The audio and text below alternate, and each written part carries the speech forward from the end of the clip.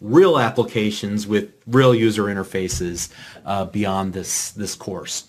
So events allow you, the developer, to respond by handling those key moments in the life cycle of the application's execution, allowing you to write code to respond to an event being raised. All right. So up to this point in our simple console window applications that we've been building, there's really only been one event that ever gets fired off, and that is the application startup.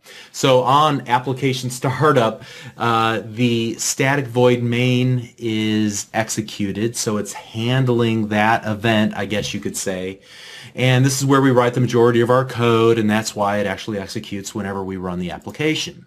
Now, in a modern user interface, whether it be for Windows or for web, uh, users can interact with the various elements that they see on their screen. So they can hover their mouse cursor over given things like uh, uh, like buttons or or graphics or text boxes, and they can see maybe a change in the in the visual presentation. Uh, maybe they see a, uh, a, a pop-up that explains the usage of that given item. Perhaps they can click on an item to to enact some business functionality inside the application. They can press keys on the keyboard to make things happen. They can type inside of text fields, uh, or they can drag and drop items around the user interface. And each of those will raise a number of events. So as a software developer, uh, you can decide to write code that responds to those interactions between the end user and those various user interface elements on screen. And you can also choose to ignore those that really don't make sense, that you really don't care about, you, you don't implement for your application. So uh, a given component, let's say a button, for example, in its, in its uh, development by Microsoft, they included or defined an event. Let's say it's the click event for that button. Now, the developer, you and I, we say, hey, I want to write code that performs this business logic that I'm writing here in C Sharp whenever that event, the buttons click event is raised, then I want this code that I write to be executed. So the developer creates a method and attaches that method to the event. And I'll show you how we do that in just a little bit here. So as the application is running, the user is interacting with the application. Eventually they click that button. The .NET Framework runtime says, okay, if you were listening for the button click event, here it is. It just happened. And it will notify every one of the uh, methods that you and I as developers have attached to that specific event notification, all right, that we've registered to that event.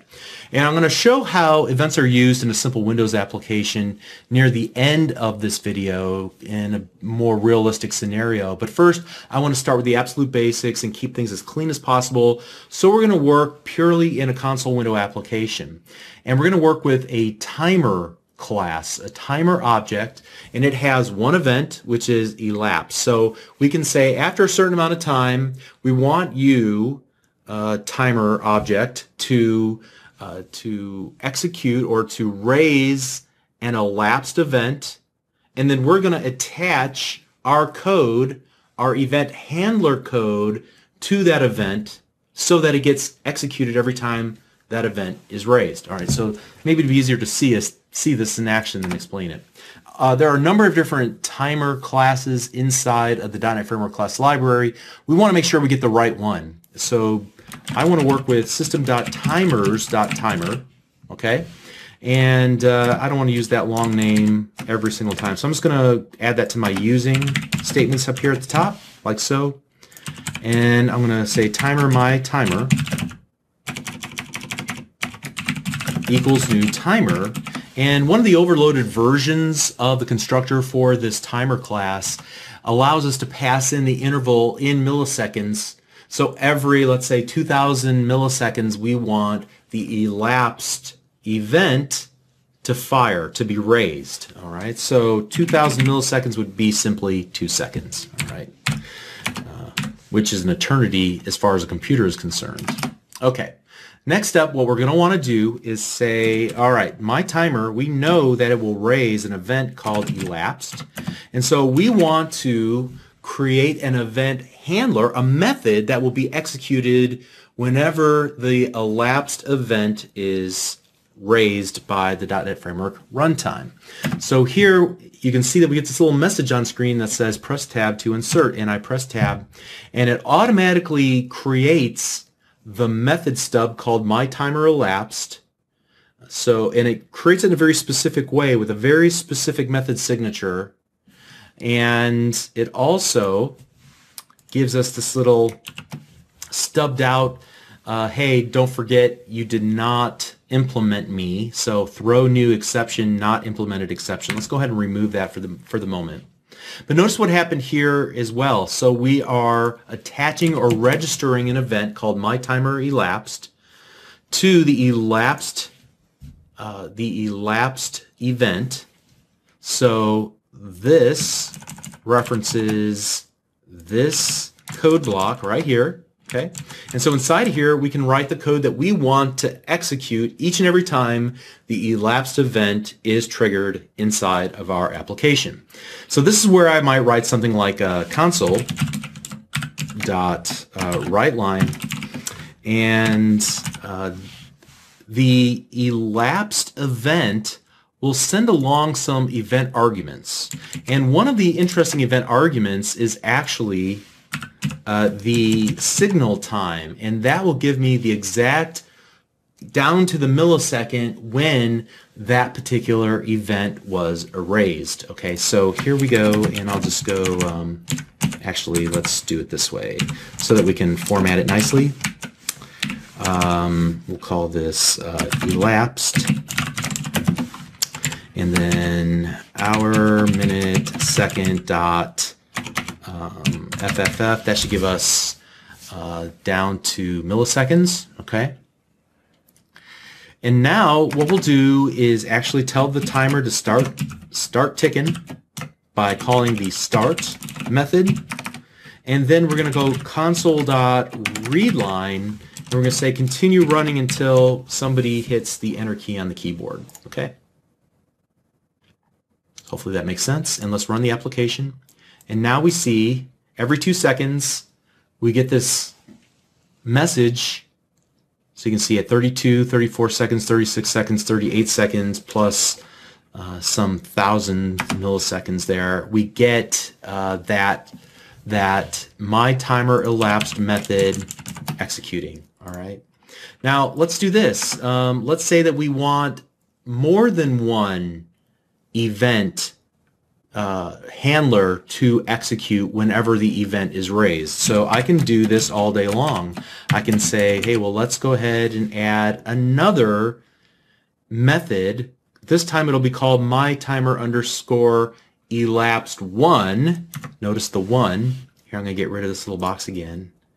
And um, inside of this new method, I can do essentially the same thing. And I'll just use that elapsed one versus elapsed. In fact, just to make this obvious, I'm going to use that little trick we learned uh, just a, a, lesson or two ago where we set the uh, foreground color equal to the uh, console color dot red.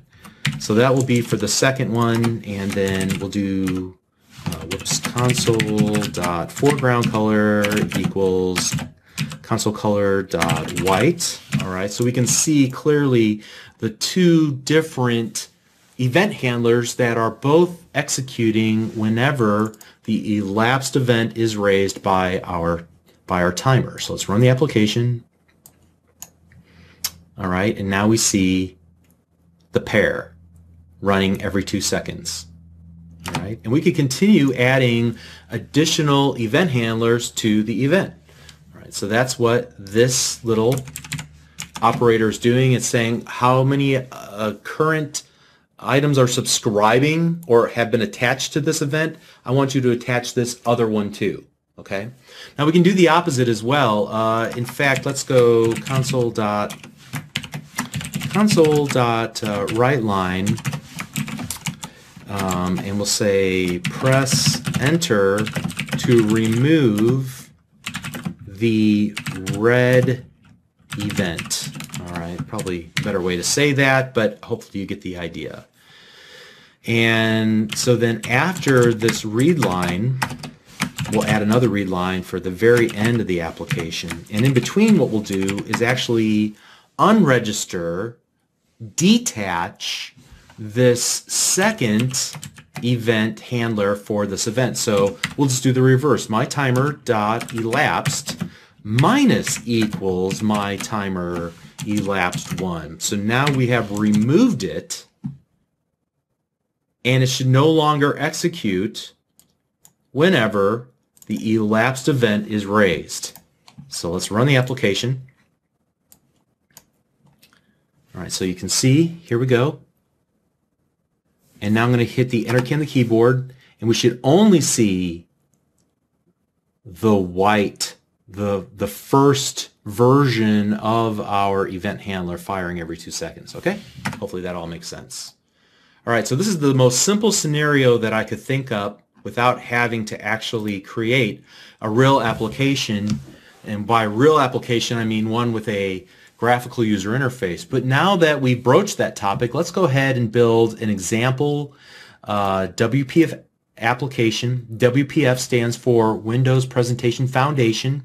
It's one of the APIs inside of the .NET Framework class library that you use to build uh, Windows applications. In other words, applications that are executed on the Windows desktop, not web pages that are executed on a server and their markup is delivered into a browser, but a true application that's running on the end user's desktop. So I'm going to go File, New Project. And here I want to make sure to choose WPF application. It should be one of the templates that are installed in the new project dialog. And what I'm going to call this is WPF events, like so. All right. And then click OK. And this is not going to be a tutorial on how to create Windows presentation, application, uh, interfaces or how to work with it, but I just want to show you the basics are generally the same. So here we have a basic application. We can actually run the application. It'll do nothing at all. We just get a white form on screen. Uh, but I want to go to my toolbox over here on the left-hand side. I'll even pin it down briefly. And then inside of here, what I'm going to go is uh, to this rolled up area called Common WPF Controls. Now, what you see on screen might be a little bit different than what I see on my screen. Okay, Just make sure you're working inside of this main window.xaml and that you see some visual representation of your form here in the main area. All right, you could ignore everything below. That's the actual markup that will generate uh, what you see visually here. We're only going to work with the visual editor, but know that there's some markup that's going on to produce this, okay? But again, that's a topic for another day. I'm going to drag and drop a button onto the design surface like so. I'm going to go over here to the properties window on the right-hand side. And this will allow me to set various attributes of that object, that visual object. So for example, I can change the content to uh, click me all right, like so. I'm also going to add a label control. I'm going to drag and drop it anywhere on this design surface.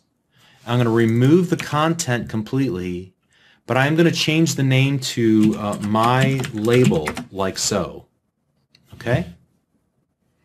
Now what I want to do is print out the phrase hello world whenever somebody clicks the click me button. I'm going to choose the click me button again by selecting it here on in the visual editor and then I'm going to look for this little uh, this little lightning bolt over here in the properties window and click the lightning bolt. And this will show me a list of all of the events all of the events that this single control this button can can raise. Now a lot of these are going to be for very specific situations and we can ignore the vast majority of these but the most important one here at the top is the click event now I can write C-sharp code that will execute as a result of this click event being raised by the .NET Framework because somebody, the user, clicked on that click me button. So I'm just going to double click here in this white area. And when I double clicked in the white area, it created this button click method stub. All right, so this is going to be my event handler code. Let me use the auto hide pin to get rid of that so I can see this. And here what I'm going to do is type in my label dot content equals hello world, like so. And then I'm going to save my work, and then I'm going to start applica start the application by running it. I'm going to click the Click Me button, and it displays the word Hello World inside of the little label. All right. Now, what you didn't realize is that maybe that whenever we double clicked inside of Visual Studio in this little white area right here, it created a event handler for us and it wired up or attached or registered that event to this button. You might wonder, well, where is the code that looks something like um, uh, button dot click plus equals, you know, where's that code at? Well, that's a little bit difficult to describe. If you take a look at this markup code here at the bottom and we scroll all the way to the right, that is essentially what happens right here. This code will get converted into C sharp at the point of compilation and it will create that little snippet that we were used to looking at uh, in the previous code example. However, I can create a second event handler in C sharp by doing this. Let's go to the toolbox and I'm going to actually grab another label and just plop it down anywhere.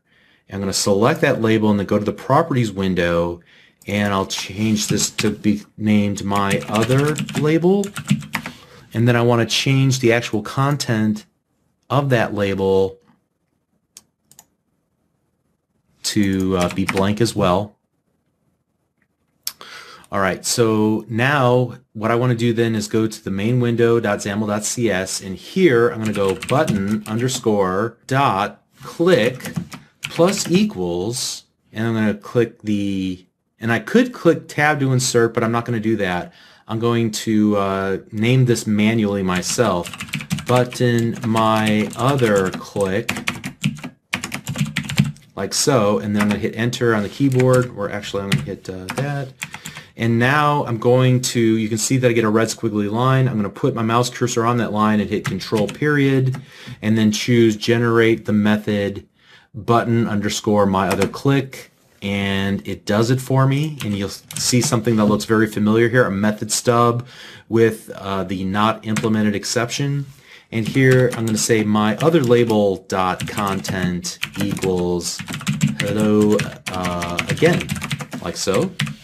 All right, so now if I did this correctly, whenever my user clicks the button, it will not only fire off this event handler, but then also this event handler.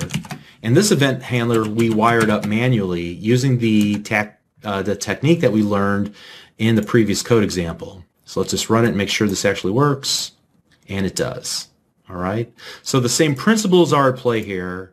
The difference is the vast number of events that are accessible to every single visual control in your toolbox whenever you're working with the Windows Presentation Foundation API. All right. All right, so the main takeaway of this lesson is that events are all around us, and especially whenever working with Windows and web applications, we're going to write our code in methods that respond to specific events that are raised by the .NET uh, Framework runtime in response to events that are published by the various objects uh, inside of, of our Windows apps, our web apps, and so on. Okay, and we can either rely on Visual Studio to wire things up for us in a very quick and elegant way, like we saw here in our XAML code, where we let it essentially do the wiring for us, or we can take control of that process of wiring, um, of attaching, of registering an event handler to a specific event and then write the code ourselves to actually respond to that event being raised. Okay, so again, extremely important. Hopefully that's the next logical step for you is to move on to other APIs, uh, whether it be something like ASP.NET or WPF like we've worked with a little bit right here, or the Universal Windows Platform to build uh, Windows Store applications. And uh, you'll need to know these concepts for all of those. And that pretty much wraps up this lesson. Uh, and this entire course will have a couple of closing